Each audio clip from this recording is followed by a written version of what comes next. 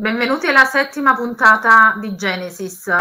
Oggi faremo, come al solito, avremo un ospite, Alessandro De, De Angelis come ospite, e, però devia, fa, faremo una deviazione dal percorso standard che eh, abbiamo eh, intrapreso, eh, come vi dicevo, sette, sette puntate fa, perché in realtà gli è accaduto, lui ha partecipato a un convegno e, eh, gli è accaduto, insomma, eh, gli sono accadute delle cose per cui volevamo raccontarvelo. E oltre a lui stasera abbiamo un altro ospite che era comunque assistito uh, alle risposte, diciamo, che ha avuto Alessandro, quindi uh, ci faceva piacere, insomma, comunque farlo partecipare. L'ospite in questione si chiama Adriano Scudellà, insegna all'Università di Amsterdam. Infatti l'ho conosciuto prima dell'inizio della puntata, mi, face, mi, farà piacere insomma risentirlo nuovamente perché vorrò fare una puntata con lui in merito eh, per l'appunto alla situazione che eh, sta vivendo lui ad Amsterdam. E tra l'altro è una, un personaggio molto, lo conoscerete, un personaggio molto interessante perché eh, insomma, per i suoi studi eh, ha viaggiato in Australia, è stato comunque vive a cavallo anche con gli Stati Uniti, quindi avremo modo di, di risentirlo e sono sicura insomma, che apporterà delle notizie interessanti. Intanto se Leona, Leonardo Lisanti in regia, se ci può fare entrare gli ospiti. Benvenuti ad entrambi. Ciao Carmen, con me Adriano Scudellà. Saluti a tutti i vostri teleascoltatori. Benissimo, benvenuto veramente. Alessandro, io ho anticipato i nostri, a chi ci guarda, i nostri telespettatori, se si può dire così, eh, insomma che tu hai partecipato a un convegno attivo, io mi sono segnata puntata, come si chiamava? Aspetta che lo dico, eh, diciassettesima settimana biblica a Tivoli. Sì dove tu, insomma, alla fine dell'intervento hai delle dovute domande, insomma, anche per, uh, in merito ai tuoi studi, per avere chiarimenti, un confronto, eccetera, e volevo un po' che ci raccontassi la cosa.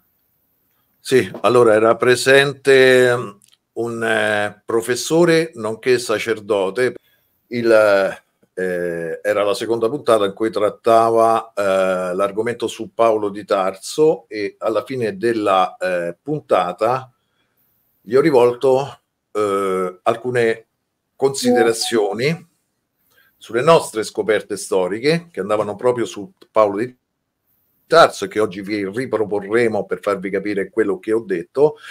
Siccome era con me anche, era venuto dall'Olanda a trovarmi il professore Adriano Scudellà, eh, era presente anche lui, quindi lascio un attimo la parola ad Adriano eh, per farvi raccontare poi le sue impressioni sulle risposte o non risposte del professore eh, della Pontificia Università alle eh, nostre eh, cons- eh, scoperte sulle nostre scoperte storiche. Prego Adriano. Sì, bene. Scusa, Volevo Adriano, un certo. attimo prima che saluti, volevo insomma eh, sottolineare il fatto, forse non, ho, non l'ho detto prima, che l'intervento era pubblico e voi avete fatto insomma una piccola registrazione che poi eventualmente metteremo in allegato alla puntata successivamente, ovviamente poi magari la trasmettiamo a parte. Volevo solo chiarire questo aspetto perché magari uno può pensare che sia non pubblica la cosa. Eh, no Carmen, in realtà noi non, eh, sia io che Adriano non abbiamo ripreso niente, ci sono delle persone che abbiamo visto avevano fatto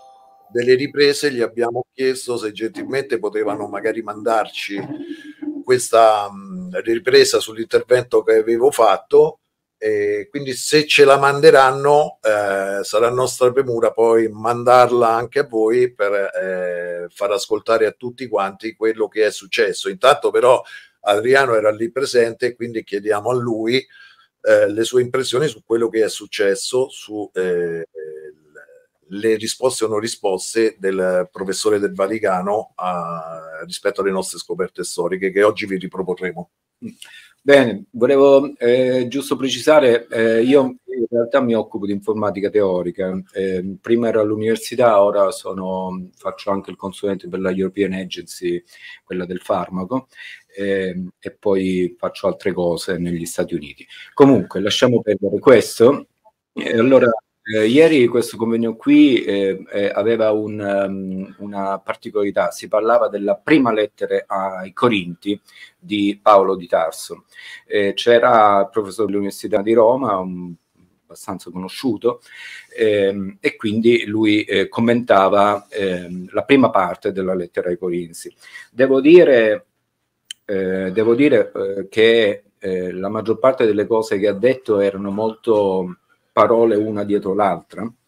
Peraltro lui stava anche leggendo, però eh, non ci interessa tanto questo, ci interessa, mi, eh, io sono rimasto molto colpito prima dell'intervento di Alessandro quando il professor ehm, eh, ha detto esplicitamente, parlando dei miracoli, parlando di miracoli, eccetera, sì, vabbè, ma questi miracoli in realtà Gesù ha guarito un lebroso su 5.000, Padre Pio ha guarito uno su 4.000, quindi questi miracoli non è che siano proprio la cosa che a noi come cristiani interessa, eh, diceva lui. Ma la cosa importante che lui ha detto è che, testuali parole, Gesù era un medico che è essenzialmente quello che va dicendo eh, il nostro amico Alessandro De Angelis, ovvero che eh, eh, Gesù faceva parte della setta dei terapeuti, cioè di questa setta che eh, a parte mettere le cose in comune, eccetera, eh, eh, appunto erano le persone che curavano. Hm?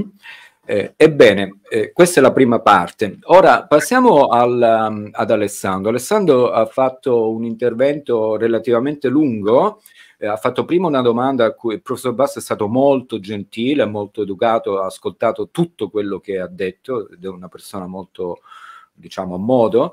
Eh, eh, Mentre Alessandro spiegava le origini di Paolo di Tarso, noi sappiamo secondo le sue ricerche che Paolo di Tarso era ehm, il nipote di Gesù, eh? Eh, poi ora ve lo spiegherà meglio lui, eh, il professore, qualsiasi cosa che Alessandro diceva, quale che fosse la cosa, lui annuiva. Lui annuiva. Cosa voglio dire? Eh, io di teologi ne conosco tanti, conosco tanti vescovi, conosco tanti sacerdoti, amici. E personalmente queste persone, ieri io sono, ero a Napoli, parlavo con un amico sacerdote, il quale ah. mi spiegava, può essere che io sono un poco borderline, caro Adriano, però negli ultimi tempi io mi sto convincendo che Gesù fosse essenzialmente un uomo, un uomo grande, un, un leader, diciamo, ma um, essenzialmente un uomo.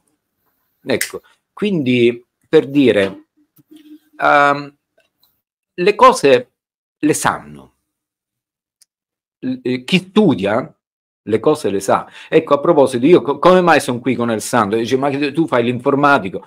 Eh, in realtà io mh, sempre mi sono occupato di, di esegesi bibliche, ci riconosco benissimo, parlo ebraico antico e moderno, ho la fidanzata in Israele, conosco il greco, il latino quindi eh, mi sono sempre occupato di queste cose. Ecco perché con Alessandro eh, stiamo, collaboriamo.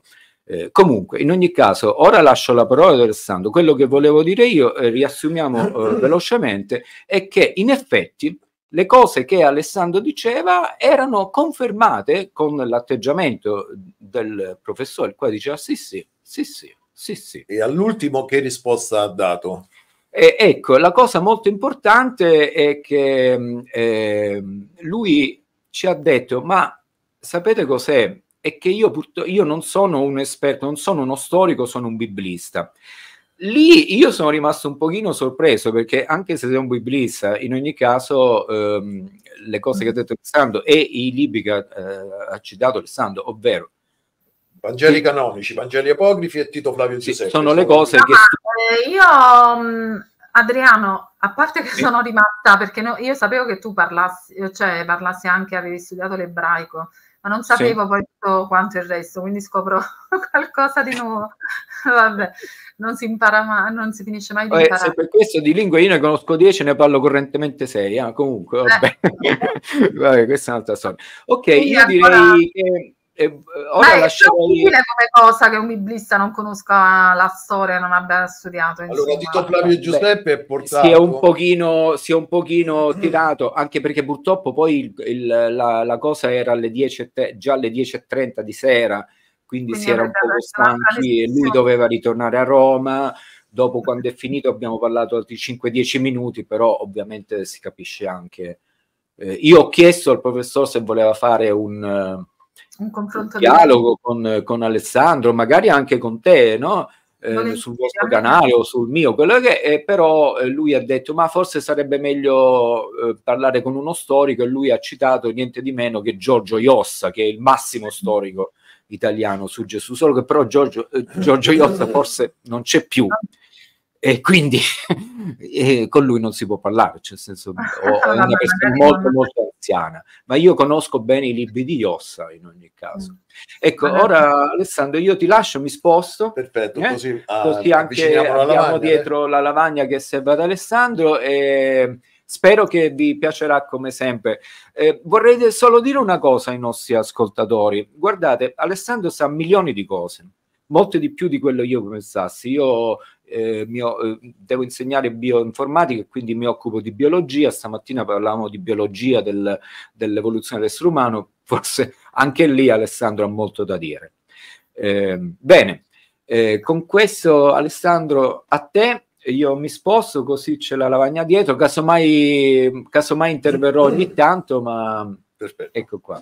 Grazie bene, a tutti e buon, buon lavoro in chiusura, se vuoi, poi come ti ho detto, ti ho anticipato anche diciamo privatamente, mi farebbe piacere perché veramente sei certo, certo, come, come, no, come no. Ok, grazie e enjoy, enjoy the view. Ok, perfetto, grazie. Dunque parto dalla quando ho finito l'intervento ed era finita la, eh, la, la, il convegno eh, con le domande che ho fatto in privato al mm. professore. E io ho detto, caro professore, eh, nel Vangelo di Matteo, quando i magi andarono da, eh, a Gerusalemme per trovare, per portare doni a Gesù, andarono a Gerusalemme e incontrarono Erode e gli chiesero che erano venuti per adorare il re dei giudei e a portargli doni. Ora, una cosa del genere rasenterebbe mm. l'inverosimilità se Gesù non fosse stato l'ultimo figlio del Re del Grande. Perché? Perché i magi, dicendo che erano venuti ad adorare il re dei giudei, avrebbero messo in discussione la regalità del eh, re Erode il Grande, che anche se era un re vassallo, era il re di Israele, messo lì eh, poi tra l'altro da Roma, e li avrebbe immediatamente uccisi. E lui ha annuito. Eh, capito perfettamente, e gli disse in realtà questi magi furono mandati dal re Archelao di Cappadocia, la cui figlia Grafira sposerà ben due figli del re del Grande, prima Aristobulo che il re del Grande uccise, era un figlio di Erode il Grande, uccise nel 7 a.C. insieme al suo gemello Alessandro, e poi eh, sposò Archelao che diventò etnarca fino al 6 d.C. quando fu rimosso per cattiva amministrazione da, dai romani. Avevamo accennato questa cosa in una puntata.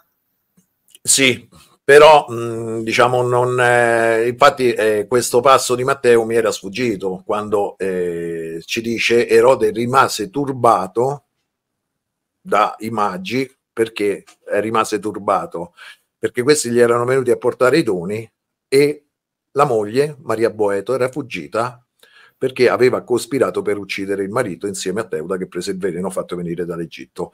Adesso invece andiamo sul percorso che ho fatto con lui, perché sono partito, siccome il convegno era su Paolo di Tarso, sono partito proprio su, da Paolo di Tarso per dimostrare che era un erodiano a tutti gli effetti ho iniziato leggendo Lettere ai Romani di Paolo di Tarso, siamo sul libro I Sicari, mm.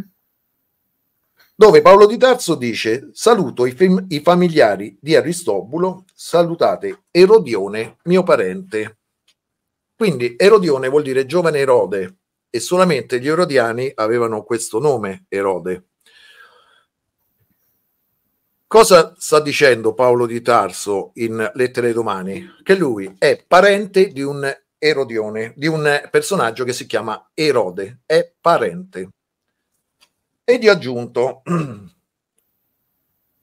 abbiamo fatto una comparazione per vedere se di Paolo di Tarso, chiamato Saulo, il suo vero nome era Saulo, ne parlasse anche Flavio Giuseppe, storiografo, e io eh, tengo a precisare una cosa, ho usato Vangeli canonici, Vangeli apocrifi e Tito Flavio Giuseppe mm. per queste scoperte che ora vi sto illustrando. Punto. Quindi quando eh, il professore mi ha risposto sarebbe opportuno che ti inco- io sono un biblista, dovresti avere un confronto con uno storico. Professori della Pontificia Università conoscono benissimo Vangeli canonici, Vangeli apocrifi e soprattutto Tiro Flavio Giuseppe, da cui la Chiesa trae le prove per l'esistenza storica di Gesù attraverso il Testimonium Flavianum e quando menziona Giacomo, fratello Adelfos di Gesù. Quindi eh, a livello di eh, confronto, loro sono il massimo. Uno storico non potrebbe starmi dietro come mi stanno dietro loro su questo percorso. Vabbè, quello e, avevo visto se è plausibile una cosa del genere, non è plausibile. Certo, li conoscono, infatti lui annuiva continuamente quando io leggevo i passi, lettere romani, tutte queste cose che adesso vi leggerò. Quindi sappiamo da questa prima informazione che Paolo di Tarso era imparentato con un personaggio che si chiamava Erode e che a quel tempo era molto giovane. E gli ho detto, guardi, un altro personaggio molto famoso del Nuovo Testamento è Salomè, colei che chiese la testa di Giovanni Battista su un vassoio d'argento, figlia di Erodiade e di Erode. E Salomè, dopo che nel ventesimo anno de, eh, di Tiberio, dell'imperatore Tiberio, cioè nel 34, morì suo marito, il tetrarca Filippo, altro figlio di Erode del Grande, sposò Aristobulo. E da questa relazione tra Salomè, da questo matrimonio tra Salomè e Aristobulo, figlio di Erode di Calcide, nacque Erodione. Mm. Questo Erode che ci dice di questo Erode di cui ci dice essere parente. Quindi lui in Lettere ai Romani menziona saluto ai familiari di Aristobulo e Erodione mio parente. Mm-hmm. Aristobulo non so se le ha fatto ingrandire un po' la, la lavagna.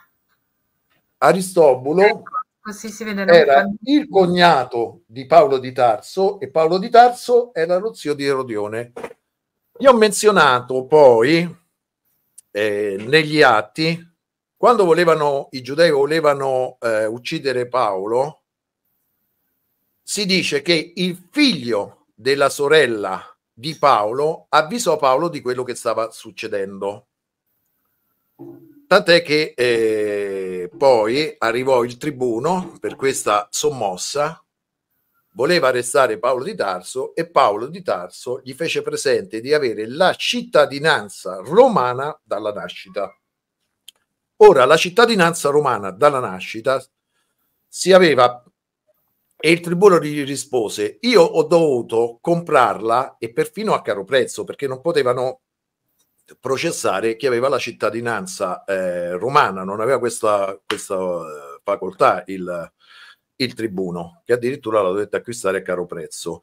La cittadinanza romana acquisita si poteva avere solamente come discendenza appartenente a una famiglia molto eh, in alto come lignaggio e il padre del re Erode il Grande, Antipatro, ebbe la cittadinanza romana che poi trasmise a tutti i suoi figli eh, da Giulio Cesare, dai romani, furono proprio i romani a dargli la cittadinanza romana. Marco Antonio lo mise, poi lo fece re nel 37 a.C. E quindi Paolo di Tarso eh, poteva essere, le, essendo legato, agli, imparentato con gli erodiani, ecco perché aveva questa cittadinanza eh, romana, tant'è che poi si appellò a Cesare durante eh, il eh, il processo che ci fu e lì presente c'era anche Agrippa II, il re Agrippa II e Berenice di Cilicia, che erano due fratelli figli del re Agrippa I ed erano cugini di Paolo di Tarso. Paolo di Tarso, io ho detto, era figlio di Erode e di Erodiade, fratello di Costabar e di Salomè Un'informazione che ci dà lo storiografo Tito Flavio Giuseppe è che Paolo di Tarso aveva un fratello che si chiamava Costobar. Mm. Bene, Erodiade era la figlia di Aristobolo, figlio di Erode il Grande, e di Berenice. Berenice era la figlia di Salomè, sorella di Erode il Grande, e del governatore dell'Idumea Costobar. Da Costobar arriviamo a Costobar, fratello di Paolo di Tarso, perché questi nomi venivano riportati nelle loro genealogie. Ora, se fosse stato figlio di Erodiade e di Erode, figlio di Maria Boeto e di Erode il Grande, Erodiade era sorella di Agrippa. Agrippa ebbe, sì, Paolo di Tarso era figlio di Erodiade, Agrippa ebbe come figlio il re Agrippa II, Agrippa II e Paolo di Tarso sarebbero stati cugini. Ascoltate cosa ci dice Tito Flavio Giuseppe nei suoi scritti. Da parte loro, Costobar e Saul, che in un altro passo di guerra giudaica ci dicono che erano fratelli, raccolsero bande di malviventi, tipo Bada della Magliana. Loro stessi erano di stirpe reale, appartenevano quindi a una stirpe reale, e raccolsero favori a motivo della loro parentela con Agrippa. Ci sta dicendo che Costobar e Paolo di Tarso erano parenti di Agrippa. Ecco qui, Agrippa era il fratello di Erodiade. Ecco perché era imparentato con Agrippa. E il figlio di Agrippa, quindi Agrippa era lo zio di Paolo di Tarso, e figlio di Agrippa, Agrippa II, era cugino di Paolo di Tarso. In un attimo tutto il quadro di prove è completo, perché uh-huh. poi eh, un altro fratello, un altro figlio di Aristobolo e di Berenice era Erode di Calcide. Erode di Calcide ebbe come figlio Aristobolo di Calcide, che sposò poi Salomè, che era la sorella di Paolo di Tarso, da cui nacque Erodione. Guardate come è stato allacciato in un attimo tutto il quadro. Ma attenzione, perché...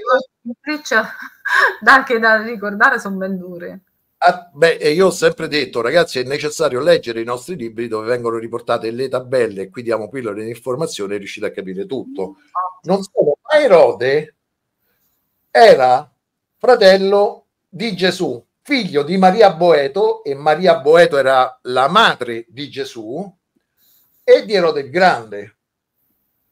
Ok? Quindi Gesù, essendo fratello di Erode, padre di Paolo di Tarso, era lo zio di Paolo di Tarso, altro che non si conoscevano ragazzi, zio e nipote. Ecco perché Paolo di Tarso costruì il cristianesimo su suo zio Gesù. Mm-hmm. Ecco l'incontro che poi avvenne sulla via di Damasco quando vide Gesù processo di memorizzazione sotto forma di luce, si convertì quando prima andava contro i, i cristiani eh, sulla causa e per ora la causa di suo zio Gesù. Ma continuiamo a leggere. Alessandro, scusa, ti posso, posso intervenire un attimo? Proprio quando parlava di questo, il professore disse, uh, ma, ma, Gesù non ha mai conosciuto Paolo di Tarso. Come la ah, interpreti questa cosa? Se l'è negato. Alessandro. Sì, sì, ma eh, il motivo è molto semplice.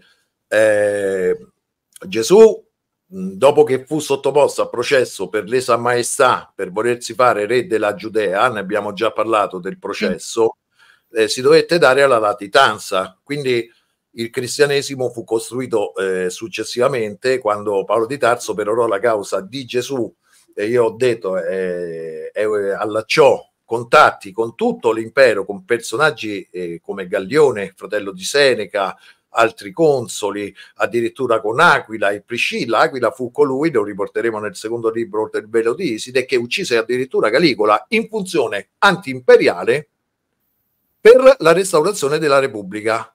Mm. E addirittura, leggiamo ancora da Tito Flavio. Scusami Giuseppe. Alessandro, questo chi ebbe contatti? Gesù o Paolo di Tarso? Paolo di Tarso, Paolo di ah, Tarso. Okay. Paolo di Tarso Leggiamo ancora in Tito Flavio Giuseppe che mh, mm, praticamente ci fu eh, Gessio Floro, un procuratore romano, eh, prese 17 talenti d'oro dal Tempio di Gerusalemme per pagare gli arretrati su- ai suoi legionari. Questo provocò un tumulto e una sommossa in tutta Gerusalemme da parte dei, vengono chiamati zeloti, ma erano in realtà personaggi sempre imparentati di, con questi personaggi qui. E eh, a quel punto il procuratore Cezio Gallo, ci dice Flavio Giuseppe, mandò in Grecia da Nerone Saul, suo fratello Costobar ed Antipa da Nerone. Mm. Dopodiché incontreremo Paolo di Tarso insieme a Pietro a Roma, che furono addirittura accusati di aver incendiato Roma. Abbiamo le eh, lettere tra eh, Paolo di Tarso e Seneca, le, le riportiamo tutte nei nostri libri dove cercheranno di discolparli. Quindi, ragazzi, era tutto quanto collegato. A questo punto, poi, che cosa ho fatto? Ho parlato al professore dicendogli il quadro quindi è questo: Gesù era zio di Paolo di Tarso, Paolo di Tarso era figlio di Erode, figlio di Maria Boeto ed Erero del Grande. Gesù era figlio di Maria Boeto, sempre, ed Erero del Grande. E Tito Flavio Giuseppe ci parla di una cospirazione che avvenne ai danni del re Erode il Grande da parte di Maria Boeto, ovvero la madre di Gesù, perché Gesù fu l'ultimo figlio del re Erode il Grande, mm, detto, sì. e di Teuda, che prese un veleno fatto venire dall'Egitto. Dopodiché gli ho letto i testi copti ritrovati a dicembre nel 45 a eh, Nagammati, dove eh, nella seconda Apocalisse di Giacomo si legge questo è il discorso pronunciato, sto leggendo dalla seconda Apocalisse di Giacomo, questo è il discorso pronunciato in Gerusalemme da Giacomo Giusto, è scritto da Mareim, uno dei sacerdoti. Egli non narrò a Teuda, padre di questo giusto. E noi abbiamo Teuda, che prese il veleno dall'Egitto e cospirò insieme a Maria per avvelenare il re del grande. Sappiamo che fuggirono poi in Egitto, non a Betlemme, perché è una profezia ripresa da Michea, qua, eh, dall'Antico Testamento, che diceva che il Messia, il liberatore di Israele, sarebbe dovuto nascere a Betlemme, ecco perché lo faranno partorire a Betlemme, ma Betlemme era, mi sembra, 18 km di distanza da Gerusalemme, figuriamoci eh, un'ora di, eh, di, distanza a cavallo, l'avrebbe subito, subito presi Erode il Grande. In realtà poi da qui eh, l'angelo li avvisò e fuggirono in Egitto, mm. dove sono stati ritrovati questi testi copti a Nagammadi, a sud del Cairo. Quindi in realtà fuggirono direttamente in Egitto e lì Maria ebbe da Teuda Giacomo, fratello di Gesù. Non solo, ebbe anche oltre a Giacomo Giuseppe, Simone e Giuda, quattro figli, più una figlia quindi sorella di Gesù, infatti nei Vangeli non è questo il figlio del carpentiere, non è questa Maria, non sono lì i suoi fratelli. Flavio Giuseppe ci parla di Adelfos, fratelli carnali. Lo stesso è Gesippo, ci dice che erano fratelli nella carne di Gesù. Eh, non, non, sono lì i suoi fratelli eh, Giacomo, Giuseppe, chiamato anche col nome ellenizzato Iose, perché nacquero da Alessandro d'Egitto, Simone e Giuda. Abbiamo ritrovato la tomba di una figlia di Teuda. Tutti da Teuda, giusto? Cosa? Tutti gli altri cinque figli da Teuda, Lib. Tutti da Teuda, sì. E questa figlia che Teuda ha avuto con Maria, quindi sorella di Gesù, ha lo stesso nome di una figlia che Gesù ha avuto da Maria Maddalena. Mm. Riporteremo il, il nome di questa figlia di Gesù, di questa sorella di Gesù, nel secondo volume del libro Oltre il velo di Iside abbiamo dovuto comprare i libri ragazzi che costano oltre 200 euro con tutte le tombe, le, le, le, le ehm, eh, frequenze delle attestazioni dei nomi. I, le nostre ricerche sono talmente di nicchia che usiamo tantissimi libri introvabili scritti eh, io dico sempre che fin tanto che si trovano va tutto bene, il problema è che li stanno facendo sparire man mano. e quindi sono eh, ricerche talmente di nicchia io capisco benissimo il professor Basta che dove poche persone riescono a seguirci e che possono solamente annuire. Dopodiché, se non sono in grado di confutarci argomentando loro, non, chiunque può venire chi vuole, ma mh, difficilmente potrebbero confutarci perché noi portiamo documenti storici e archeologici a supporto delle nostre scoperte. Quindi ragazzi, concludo dicendo, non possiamo parlare di cristianesimo, ma di erodianesimo. Il cristianesimo è stato costruito su tutti personaggi appartenenti alla famiglia del re Erode il Grande, un pluriu omicida che uccise Alessandro, Aristobulo e Antipatro, tre suoi figli, per aver cercato di cospirare contro di lui, ma poi Alessandro e Aristobulo neanche lo fecero, era una sua paranoia.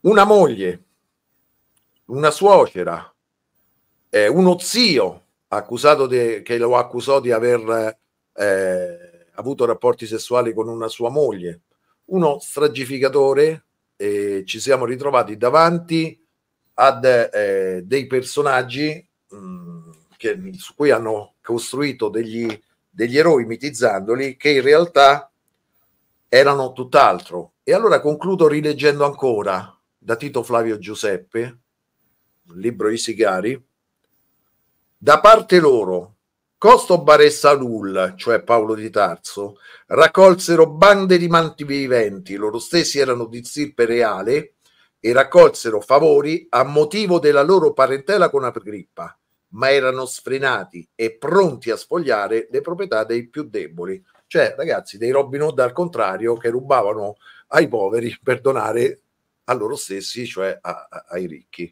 Non è cambiato niente. Hanno preso Uguale dire, ragazzi, adesso eh, se, eh, ma, eh, se, la montagna non va da Maometto, Maometto eh, è andato dalla montagna, visto che si sono sempre rifiutati di confrontarsi con il sottoscritto. Eh, adesso abbiamo un confronto eh, su un convegno pubblico che è avvenuto, dove le nostre scoperte storiche non sono state assolutamente confutate in nulla e dove eh, mi viene detto di confrontarmi eh, con una storico. Ragazzi, speriamo di avere la registrazione, qualche registrazione allora. Se ci manderanno la registrazione sarà nostra premura eh, farvela avere di modo che tutti quanti eh, potranno ascoltare quello che è successo. In ogni caso ovvio, ho, eh, ho voluto che intervistaste anche Adriano in quanto no, è, stato una bella conoscenza, devo dire. Anzi, se lo fa rientrare, visto che siamo in chiusura. Sì, sono qua, eccoci. Eh, ultima cosa che chiudo, qui ho, avevo creato la genealogia. Io occupo la lavagna, però sì. sia Salomè sia Erode erano figli di Antipatro.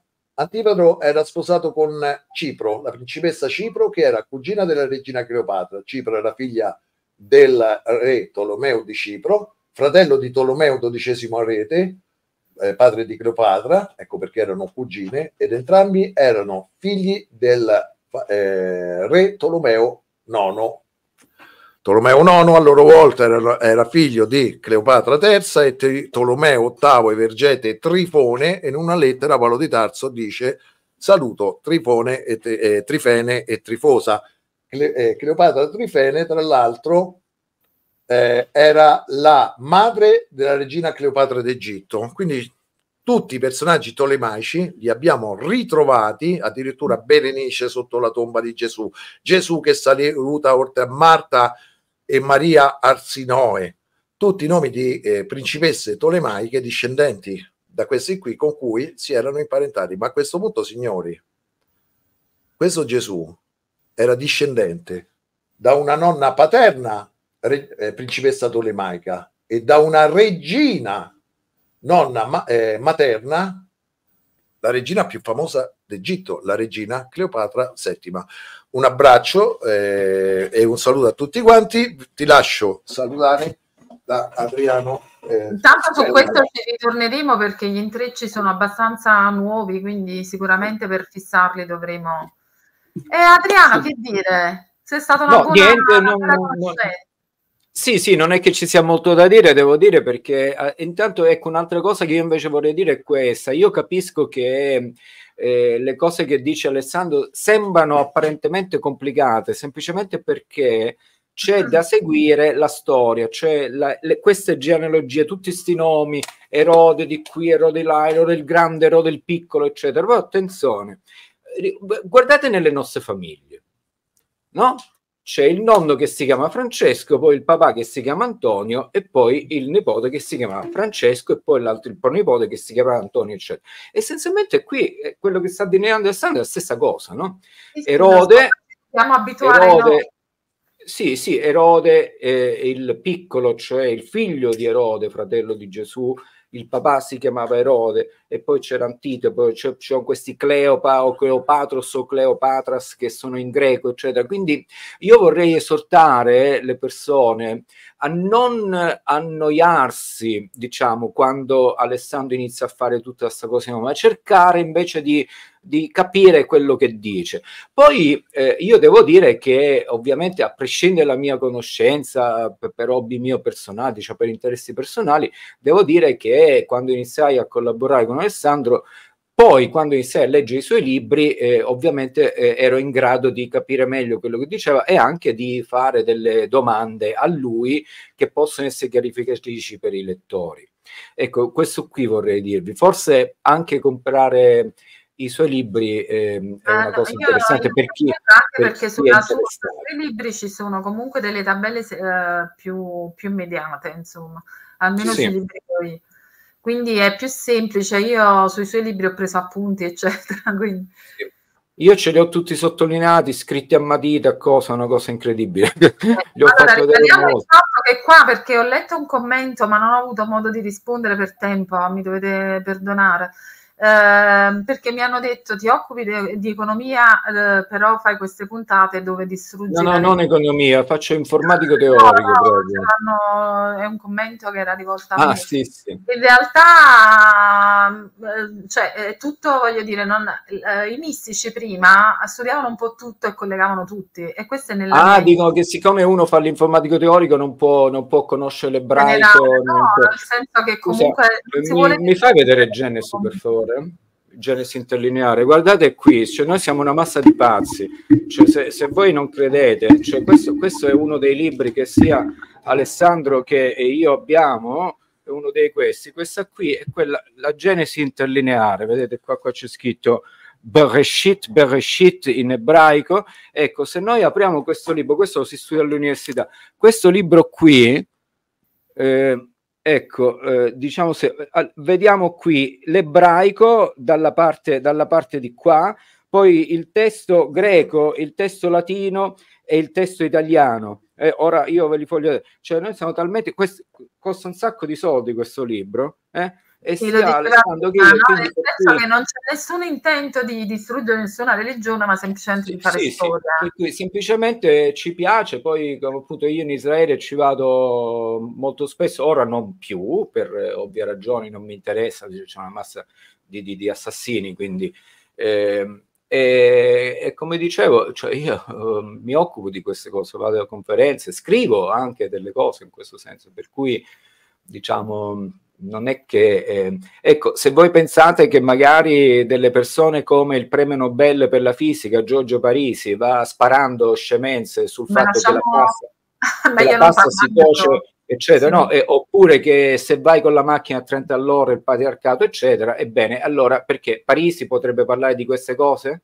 No, ah, dovrebbe parlare solo di fisica, lasciamo perdere perché gli ha dato il premio Nobel, perché parla di teorie del caos, no? Quindi perché appunto si devono premiare. Va bene, allora noi non vogliamo fare una puntata troppo lunga, io spero di rivederci. Eh, esatto, sì. Con Alessandro ci rivediamo senz'altro, quindi la speranza... La prossima puntata e andremo su... Eh, ancora sull'Antico Testamento, svelando eh, i personaggi eh, anzi la storia che c'era dietro il libro Apocalisse. Eh, che volevamo parlare oggi, quindi abbiamo fatto questa piccola interruzione, sì. però era dovuta. Non valeva la pena. Va un abbraccio bene. a tutti e un saluto. Un abbraccio a tutti. Salute. Ciao Adriano.